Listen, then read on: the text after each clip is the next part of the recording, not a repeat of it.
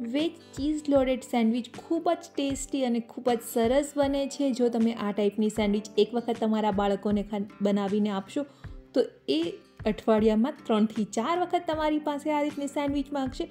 ખૂબ જ ઇઝી રીત છે અને ખૂબ જ ઝડપથી બની જાય છે. તો સેન્ડવિચ બનાવવા માટે મેં અહીંયા ચાર સ્લાઇસ બ્રેડ લઈ લીધેલા છે.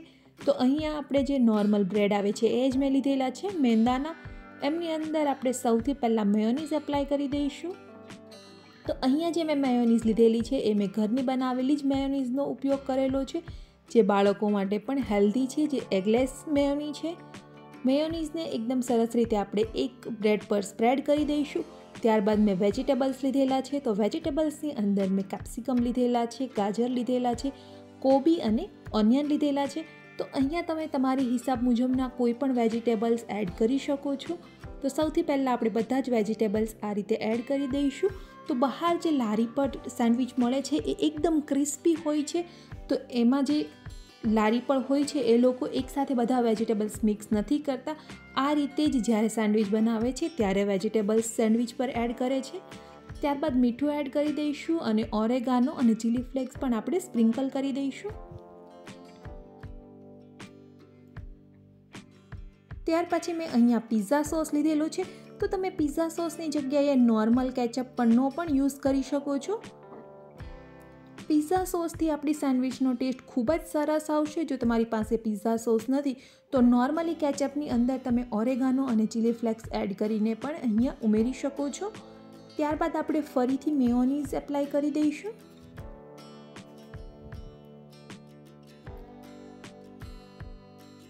હવે આપણા જે બીજા બ્રેડની સ્લાઇસ છે, એ સ્લાઇસને આપણે આ રીતે લગાવી દેવાની છે.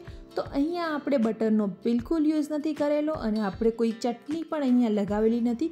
તો પણ આપણી સેન્ડવિચ ખૂબ જ સરસ બનશે. હવે ઉપરના પાર્ટ પર સેન્ડવિચને ટોસ્ટ કરવા આપણે બટર લગાવી દઈશું. બટર એકદમ સરસ રીતે આપણે લગાવી દેવાનું છે. ત્યારબાદ ગેસની ફ્લેમને મીડિયમ રાખી અને જે સાઈડ બટર લગાવેલું છે, એ સાઈડ આપણે રોસ્ટ કરી લેવાની છે. તો બટર લગાવેલા પાર્ટને આપણે નીચેની સાઈડ મૂકી દઈશું અને મીડિયમ ફ્લેમ પર આપણે એને શેકી લઈએ. તો તમે જોઈ શકો છો કે નીચેનો જે પાર્ટ છે એકદમ સરસ રીતે શેકાઈ ગયો છે. હવે આપણે સેન્ડવિચને તવા પરથી નીચે લઈ લઈએ અને જે પાર્ટ રોસ્ટ કરેલો છે એ પાર્ટને ઉપરની સાઈડ રાખીશું અને એમની ઉપર ફરીથી આપણે પિઝા સોસ લગાવી દઈએ. તો અહીંયા સેમ તમારી પાસે જો પિઝા સોસ નથી તો તમે કેચઅપનો પણ ઉપયોગ કરી શકો છો.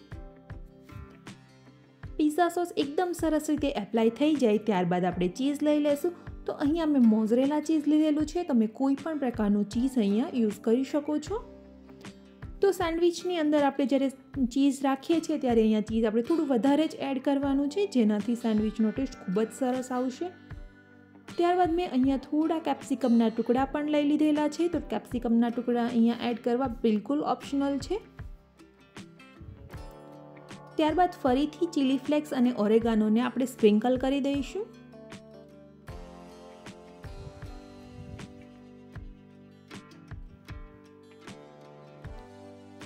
તો આપણી સેન્ડવિચ તૈયાર થઈ ગઈ છે. હવે આપણે નીચેનો જે પાર્ટ છે એમને આપણે બેક કરી લઈશું. તો એ માટે પેનની અંદર થોડું બટર લઈ લઈએ.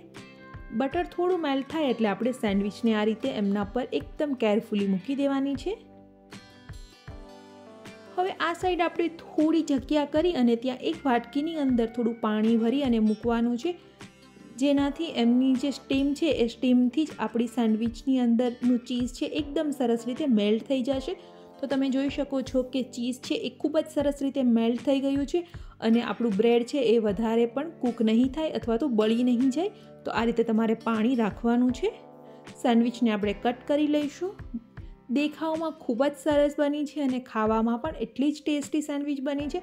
તો આ રીતની સેન્ડવિચ એક વખત તમે ઘરે જરૂરથી ટ્રાય કરજો અને રેસીપી કેવી લાગી કમેન્ટ કરીને જરૂરથી બતાવજો. અને ચેનલને સબસ્ક્રાઈબ નથી કરી તો સબસ્ક્રાઇબ કરી અને બાજુમાં રહેલા બેલ આઇકન પર ક્લિક કરી દો જેનાથી તમને નવી નવી નોટિફિકેશન મળતી રહે.